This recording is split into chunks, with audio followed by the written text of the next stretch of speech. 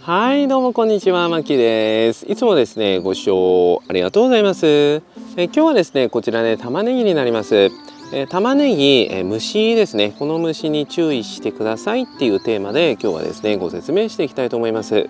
結構ね玉ねぎですね病害虫ですね害虫にもね強かったりするんですけれども稀にですねちょっとね虫がいたりします。なので今日はですねそういった虫をですね、えー、対策しておくことによってはいしっかりとですね予防して、えー、美味しいですね玉ねぎ来年にかけて収穫できる可能性がねぐぐっとね上がりますのでよければね参考にしてみてください、はい、それでは早速いってみましょう。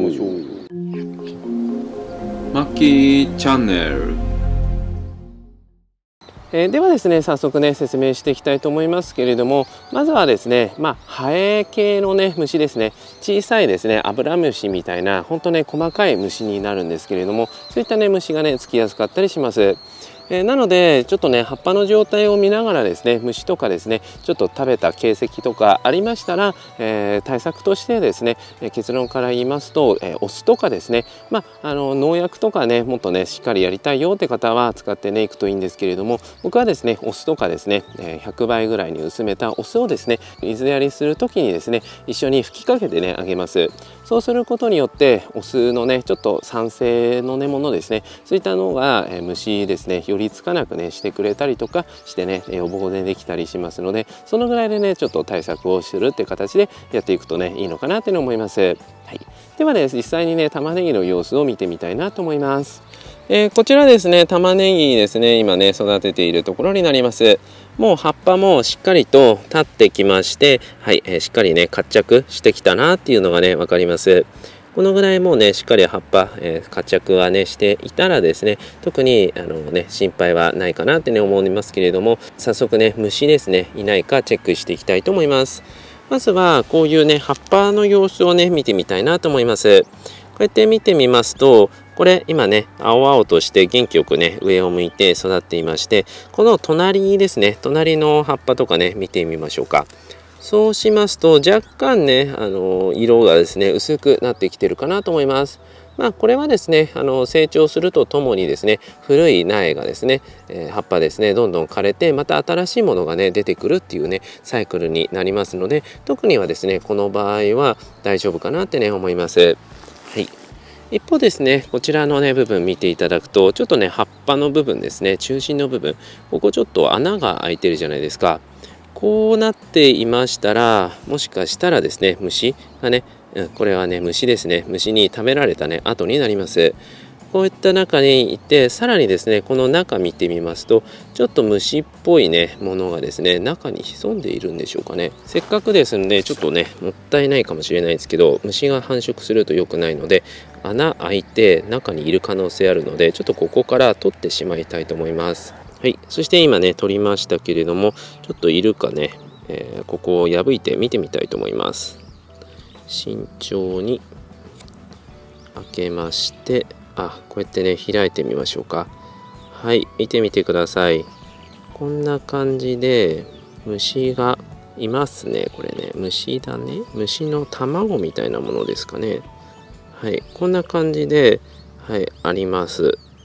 なので、こういったものね、ありますと、ちょっとね、よろしくないので、こういったところはですね、えー、取ってね、いくといいかなと思います。ただね、一個一個ですね、こんな感じで、え、見てね、やるの大変だよってね、思うかもしれません。そうですよね、その通りです。なので、そうなった場合はですね、ちょっとね、えー、まあそこまで他のものはですね、特にそういうね、症状は見られていないので大丈夫なんですけれども、お酢を500倍ぐらいにね溶かしてこれ水やりですねしていきたいなってね思います。はい、そうすることによって、えしっかりとですね予防してい、えくことがねできますので、はい、やっていきます。あとはこういう葉っぱとかですねありましたら、えそこから虫が湧いてしまったりとかあとは雑草ですね。こういったところ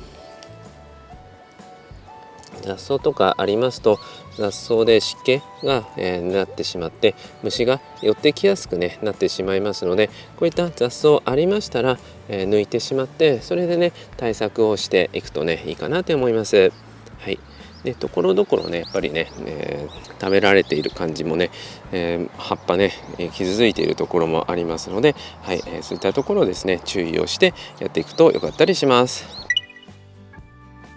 ここね見ていただくとはい見てみてください。ちょっと食べられててほやほやって感じにはなるんですけれどもここね食べられています。これはね虫がいます。ちょっとめくってみますとあいましたね。はい。こんな感じで虫がねいます。こういう害虫がいますと、はいえー、食べられてしまって、えー、ね、玉ねぎねせっかく葉っぱね生えてきてもですねもうね、あのなくなってしまって育たないということがありますのでこういったものはですね見つけ次第なるべくね畑の外に持っておいてあげるといいかなっていうの思います。ちょっと他の場所も見てみますとこの辺とかもですね、えー、結構ね葉っぱ食べられていますね。これ見ていただくと。こんな感じで葉っぱね食べられてしまってこのね一枚一枚の葉っぱが光合成をして玉ねぎ大きく育とうとねしているんですけれども、はい、葉っぱね食べられたらねもうね何にもできないですので、はい、虫とかねいたらですねなるべく取るようにしていくといいです。なので1週間に1回ぐらいはちょっとね玉ねぎの様子見てはい行くとね良かったりします。一方ですねこちら僕ね今ねあのー、細い苗ですね。細い苗をちょっとね育てているところになりましてこのように、え不織布を引いてその上から防虫ネットですねかけています。そしてちょっとね見てみますとこういったところですねやっぱり通気性が悪くなりますのでちょっとね虫がねいるんですねこの辺とかハエみたいな虫。これいるとちょっと良くないので一回、え換気ですね開けておきたいと思います。ちょっとねある程度ですね保温はね大切ではありますけれどもっと換気ですねしておかないと、えー、ねそこからもう虫のパラダイスみたいに、ね、なってしまいますのでこういったところをねもし虫いましたら、えー、とここね防虫ネット1回上げてしまって虫を解放ですねしてあげるといいかなと思います。こういうのねやってないよって方は特にね問題はないんですけれどもはい今回ね僕の場合はちょっとねこういった作業ですねが、えー、しましたので、はい、ここねちょっと管理ですねしておきたいと思います。こんな風にねしたらもうね虫飛んでいきますのでこれでね大丈夫です。ちなみに中の様子見てみましょうか。えー、虫のねパラダイスではありましたけれども、はいえー、しっかりとですね玉ねぎねちょっとずつですけれども大きくなってきてるなって思います。ただやっぱりね暖かくもねしていますので雑草がですね生えやすくなっていますね。なので、えー、このね雑草まあ見つけたら手でね定期的にこうやって取ってしまって対策ですねしておけばいいんですけれども、えー、そういうのねちょっとね大変だよっていう方もねいらっしゃると思います。そういった方はもみ殻ですね。この上からもみ殻をパラパラパラと垂らしていきまして、はい、もみ殻のねマルチみたいな感じで、えー、やっていくのもね良かったりします。ただ注意しないといけないのはあまりもみ殻上げすぎてしまいますと土の中ですね窒素不足窒素をですねもみ殻入れると取られちゃうんですね。そうすると、えー、窒素不足になって玉ねぎが本来育つ、え、はずだった肥料がね取られてしまいますとうまく玉ねぎ育たないということがねあっちゃいます。なので、えー、適量ですね。ちょっとほんのちょっとね、えー、粉雪がかかるかぐらいですね。そのぐらいちょっとパラパラとですねもみ殻、えー、引くっていうねイメージで、えやってねいくといいかなと思います。まだね雑草がありますのでちょっとねちょくちょくと雑草は取っておきたいと思います。でもね葉っぱもちゃんと上を向いてここ植え付けてまだね1週間ぐらいしか経ってないんですけれどもしっかりと活着をしてきた感じがしますね。パタッとね葉っぱが倒れてしまっていますと良くないんですけれども葉っぱがちゃんと上を向いて大きくなろうとしてきていますので順調に育ってきている感じがします。はい。じゃあ雑草もねある程度取れましたのではい、じゃあまたねちょっとね蓋をして、はい、暖かい環境で玉ねぎね元気よく育つようにやってねいきたいと思います。